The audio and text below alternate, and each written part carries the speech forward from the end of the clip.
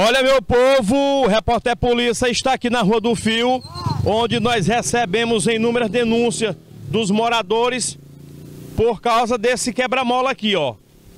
Que tá só um, um tupetezinho.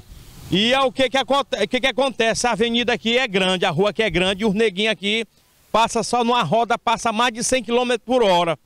Aqui tá, tá parecendo Interlagos, onde corre os carros de corrida. Inclusive, eu tô aqui com um morador. Como é que é teu nome? Meu nome é Antônio Neto. Antônio Neto, me diga uma coisa: esse quebra-mola tá, tá prestes a, a, a provocar algum acidente, né? Com certeza, diariamente acontece acidente aqui, ó. As pessoas batem em cachorro, caem. E diariamente acontece acidente por falta desse quebra-mola aqui, mano. E a gente tá pedindo esse quebra-mola aqui, ó. Tem muita criança aqui no horário de colégio aqui, você sabe que é o horário de pico, que tá saindo da, da escola, na hora de ir pra escola. E pra atravessar essa rua aqui, mano, é, é complicado, mano. E a gente já presenciou vários acidentes aqui, ó. Então é carro e moto passa voado. Passa voado, mano, diariamente aqui, direto, direto, que é complicado. Tá certo, olha, não é eu não, é o povo.